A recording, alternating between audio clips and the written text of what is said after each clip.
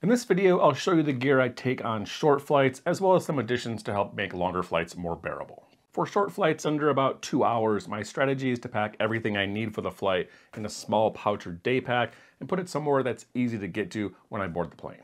This way all your gear is together, everything is organized and easy to find, and you can quickly transfer the pouch right back into your main travel bag when you land. And because most of this is just gonna be your everyday carry gear anyway, you can hit the ground running when you get to your destination. I'll choose a different size bag depending on the length of the flight and what I'm carrying in it. For shorter flights, I'll go with a small tech pouch. For longer flights, I'll use a packable day pack. The pouch I've been using recently is the Evergoods Cap 1 Civic Access pouch. It's a small, foldable, one liter pouch. It works perfectly for air travel and everyday carry. I featured the Cap 1 recently on an individual review as well as my gear roundup for 2023, so definitely check those out if you haven't seen them yet.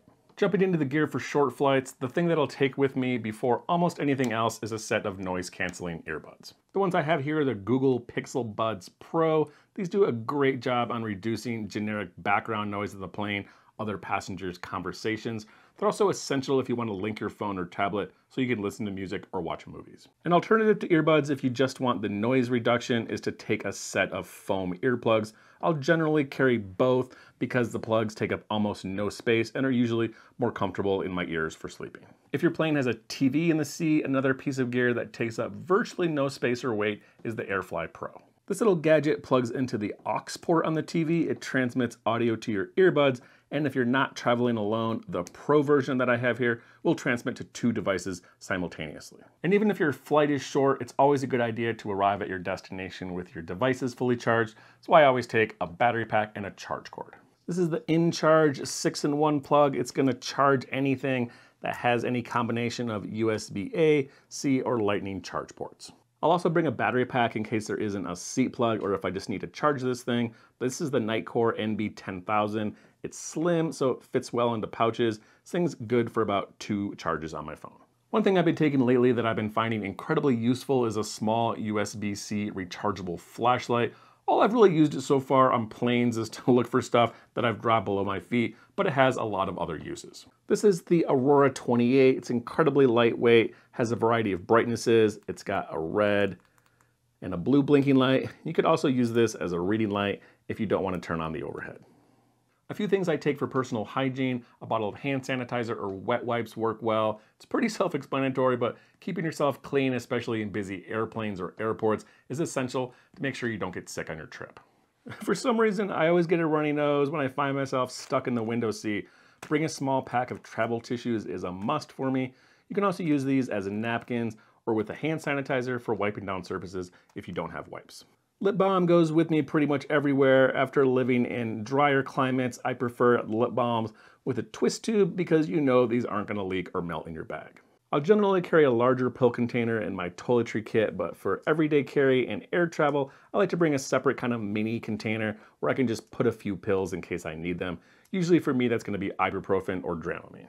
For some reason, I get almost immediately sleepy after takeoff, even on short flights, so I'll pretty much always carry a small sleep mask in case I feel like dozing off. I use the smallest one that I found, just really tiny, basic one. This is what they give you in the complimentary goodies on some of longer international flights. Next, a small notebook, pen, pencil. I don't always use this, but I found it to be essential in many travel situations. I find it especially helpful to have addresses, currency conversions, phrases written out ahead of time. It's also good to have something to write in and take notes when I'm tired of looking at my phone. The last thing I'll pack into my flight pouch is a small snack, depending on the length of flight. Short flights usually just take a granola bar or maybe a bag of nuts. And then obviously the things that you're gonna have in your pockets when you get on the plane, like your travel wallet and your phone.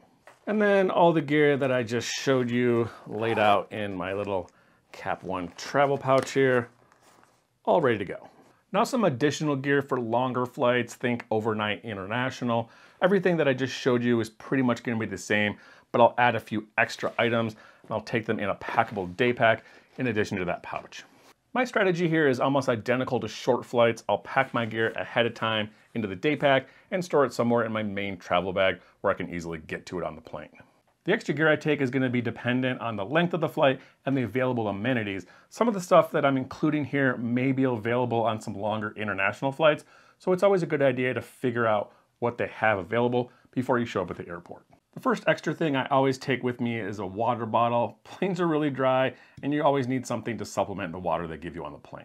A few options that I think work great. Memobottle, this thing is slim, so it's gonna fit well in the seat back pocket. The HydraPak, this thing is collapsible, doesn't take up as much space.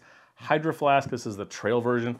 This is gonna be a lot lighter. And then something, this is a little water bottle you can buy at the store in an airport. This thing is incredibly lightweight, very dentable, but also extremely cheap.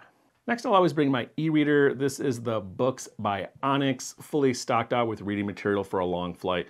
I like to switch between reading, listening to podcasts, and watching movies to keep myself entertained, and this gives me all three options. Next thing I might bring is a neck pillow. These are difficult for minimalist travelers because they take up a lot of room for such a small amount of use. Several companies sell packing cube tubes that they clip on in the ends and you can use them as a neck pillow, but I haven't tried these because none of them look very comfortable.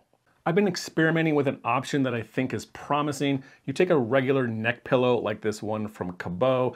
It has a removable cloth covering that's intended to be taken out and washed. So what we're gonna do is just unzip the back section and pull out the foam pillow that they gave you and then you're gonna take this empty pillowcase sack and use it to fill out with clothes from your travel bag.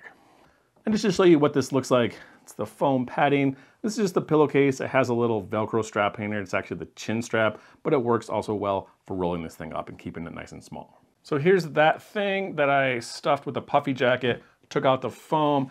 I really like this because it's almost as comfortable as the original pillow. This thing is a lot softer and those weird tubes. And this thing is already in the shape of a neck pillow. So I found out it actually works really well while taking up virtually no weight or space in your pack. Next, sometimes it's nice to have a blanket that's more comfortable than the little tiny one they give you on long flights. And for this, I find the Gravel travel blanket works really well. This one doubles as a pillow, the soft side here when you take it out of the compression case. This one gets quite large, has little pockets down here for sticking your feet in, and a little button snap on here in the top to keep it from sliding off. Next, I think it's important to consider what you're taking in your piddle bottle. For me, this is gonna be the same vessel as for long flights, but I might consider bringing something that's gonna help me sleep better. Some very common options for this will be Dramamine, melatonin, and or magnesium.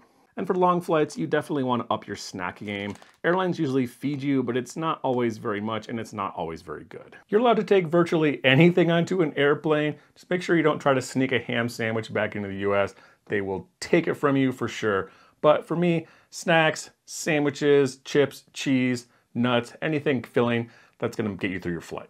That's all I have for essential minimalist gear for short and long flights. Hopefully you found something that was gonna be useful in here. If you have anything that you like to use that I didn't mention, please bring it up in the comments below. I'd love to see your suggestions. And again, thanks for watching.